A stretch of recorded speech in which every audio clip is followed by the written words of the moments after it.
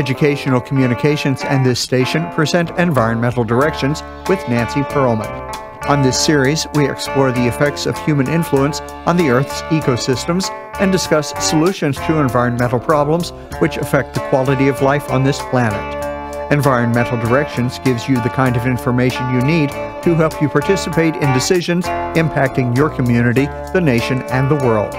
Now, here's your host, Nancy Pearlman. Hello. My guest is Jonathan Agin. He is the executive director for the Max Cure Foundation and is co founder of the Children's Cancer Therapy Development Institute.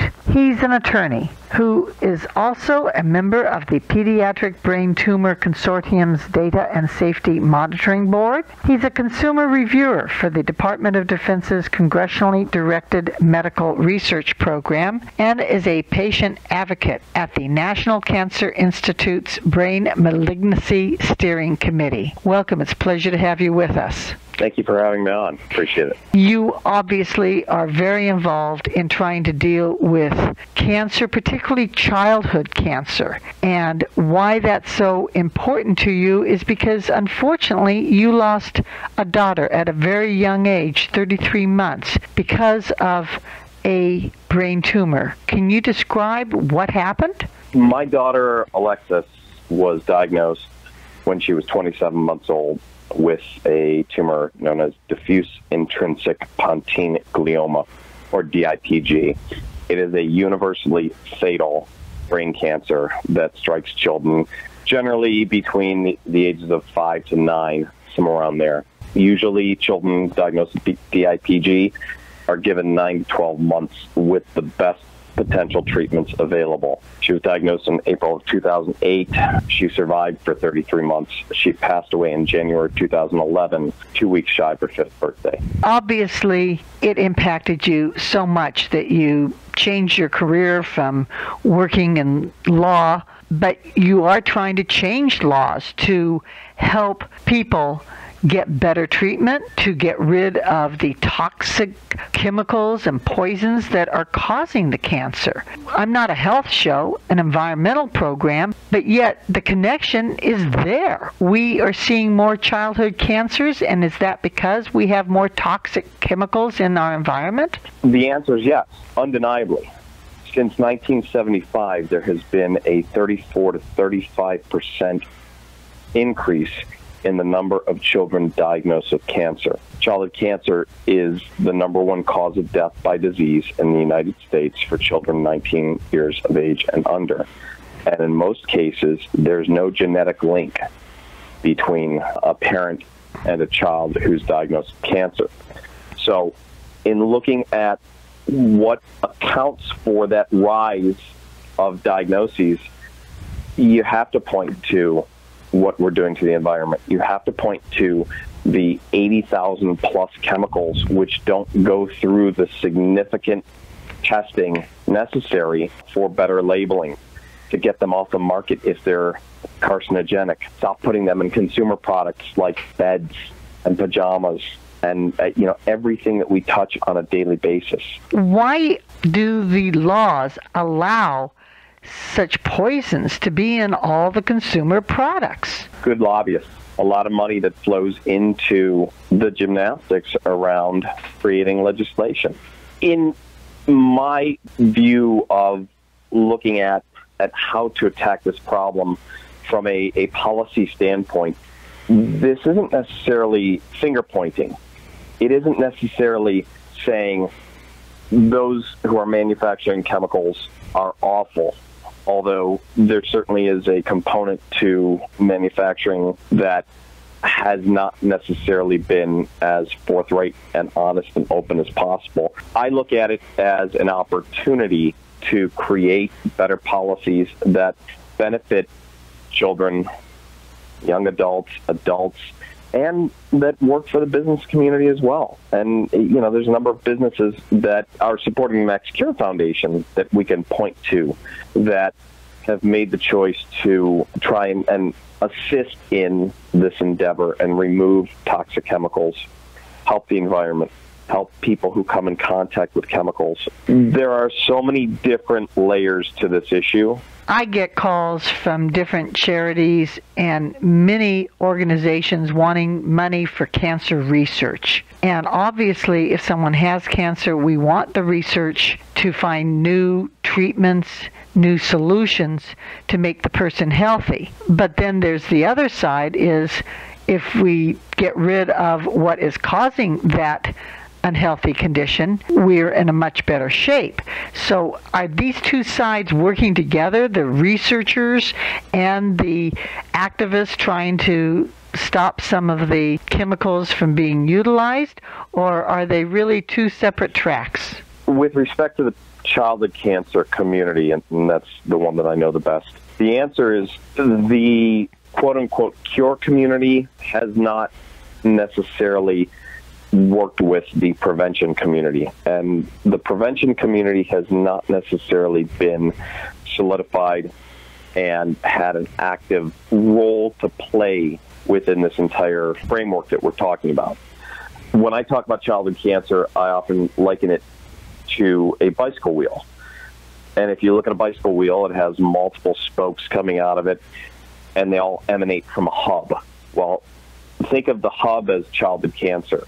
And then of the spokes, you've got the cure community, prevention, psychosocial care, research funding, drug development, survivorship issues. They all start from that one place. The issue of prevention has not been elevated to the place that it needs to be. Very few research grants are awarded or focused on, on prevention, frankly. In looking at trying to bridge this gap, it's not necessarily that they need to be incongruous or it's either or. We need to look at prevention as the ultimate form of cure. And we also need to look at prevention as being able to help with respect to the research as to how to create more durable survivorship within the community. Is the problem greater in the United States because we have so many products with chemicals in them, or do we find a massive problem in the other countries that are more agricultural based using chemicals in growing food? Or is it an issue of technology in general? Are the more technologically advanced countries finding more childhood cancers? Where do we find the bell curve? That's a really good question. I will not claim to be an expert on the current legislation or the policy in other countries, but I do know that in Europe, there's stronger requirements for testing chemicals much stronger than in the U.S. So they do a far better job at ensuring that the chemicals that are put out in consumer products are put out in the, the stream of, of consumers, so to speak. Here, not so much. Again, I think you've got to go back to the fact that there is a very active lobby. Everything has a lobby for it. And chemical producers and the folks who are putting them out in the the consumer stream are spending a tremendous amount of money to maintain that. You are a lobbyist, so to speak, for patients. You're a patient advocate. What do you do with National Cancer Institute's Brain Malignancy Steering Committee? So that role, I'm in my second three-year term with the Brain Malignancy Steering Committee. Essentially, the committee is made up of about 30 or so members, two patient advocates, one on the pediatric side, one on the adult side. And we review and analyze generally phase two or phase three clinical trials to either approve or deny funding and operation through the National Cancer Institute. Why does the Department of Defense have a congressionally directed medical research program? You're the consumer reviewer. So that actually is, is another phenomenal program, and it's been a great way for the childhood cancer community and breast cancer community and many other disease populations to obtain additional research funding. The congressionally directed medical research program is just that. It is a pool of money that is set aside by Congress out of the budget that is up for award to medical researchers to specifically study, again, like brain cancer or other forms of childhood cancer or breast cancer. There is a study section within the CDMRP for Gulf War illness. It provides another avenue for the awarding of research funding. As a member of the Pediatric Brain Tumor Consortium's Data and Safety Monitoring Board, what exactly are you monitoring? Where? What? That is a very new appointment. When a clinical trial is being run, you have to monitor safety incidents and you have to monitor the patients that are on them. Everything is de identified and you monitor various events that occur during the course of administration of clinical trial drugs and therapies. You are executive director of the Max Cure Foundation. Why that name? The Max Cure Foundation was named after Max Plotkin, who was diagnosed with a very rare form of lymphoma, B cell lymphoma of the bone, back in 2007. He was treated at Sloan Kettering, and he was the very first pediatric patient ever seen there with B cell lymphoma of the bone. During the course of his treatment, his father, David Plotkin, and grandfather, Richard Plotkin, really saw a lot of inequities with respect to the access to treatment, research funding, things that really touched them deeply. And so in 2008, they formed the Max Cure Foundation to fund research and to financially support low income families that had a child undergoing treatment. Max is thankfully a survivor, so his story is a happy one.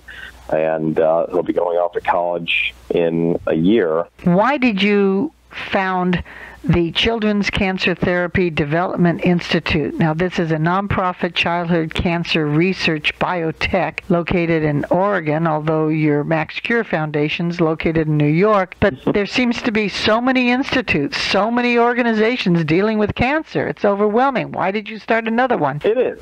And each of them has a role to play, although there is a lot of duplicative effort going on, which is something that is very important to me as the executive director of the Max Foundation to cut through that. After Alexis died in January of 2011, I got back into the practice of law. I had no passion for it whatsoever at that time. Fast forward to 2013 in November, and I was invited to attend a meeting out in San Francisco talking about increasing collaborative efforts between regulators and researchers and funding organizations and advocates for brain cancer.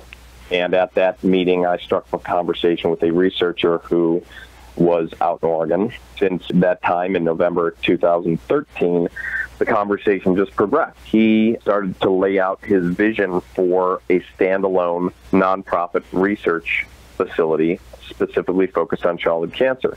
Because most research is done at academic institutions. There's issues with respect to translation from a lot of the research that gets funded to the clinic. One thing led to another, and we founded CCTDI, which was uh, for short Children's Cancer Therapy Development Institute, as a way to accelerate research into some of the more recalcitrant forms of childhood cancer to create a new model that was not focused on academic papers. Now that people are aware that chemicals in our products, in our environment, are causing health problems, are we getting enough laws on the books and regulators to make sure that that problem gets reduced. Is there one piece of legislation or law that needs to be strengthened to improve the situation so that we don't have so many toxic chemicals in our products and environment?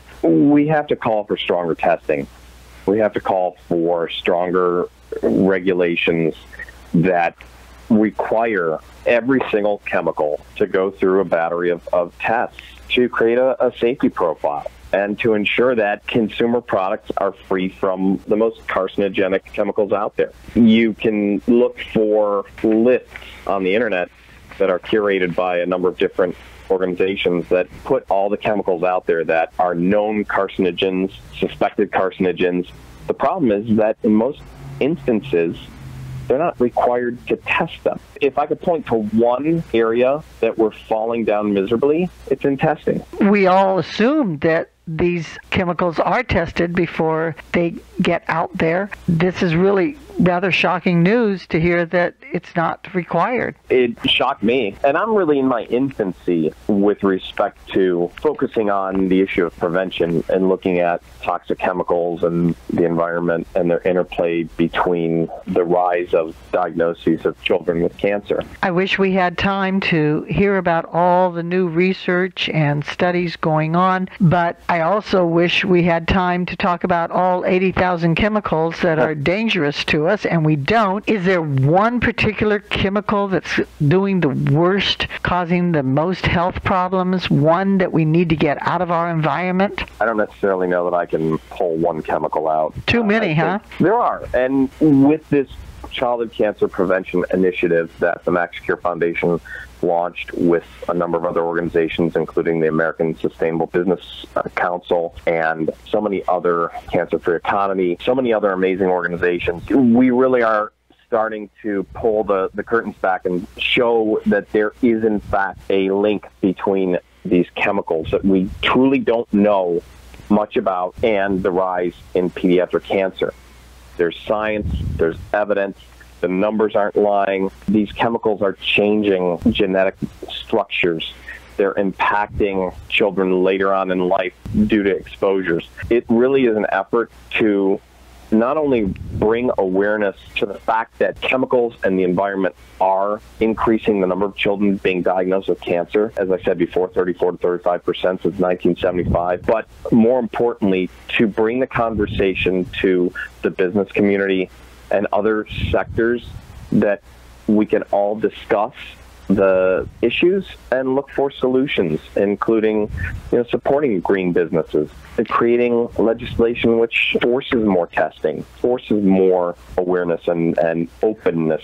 I'm so glad that you are making us aware of the problem and trying to find those solutions. I want to wish you well in your efforts in that regard, and I'm very pleased that you have three healthy children and that we continue the work to try and make all children and adults safe from toxic chemicals. Thank you for being my guest. Thank you very much. Together we can. I have been speaking with Jonathan Agin, who is the executive director of the Max Cure Foundation. I'm Nancy Pearlman. Thank you very much for joining us, and do tune in again next week.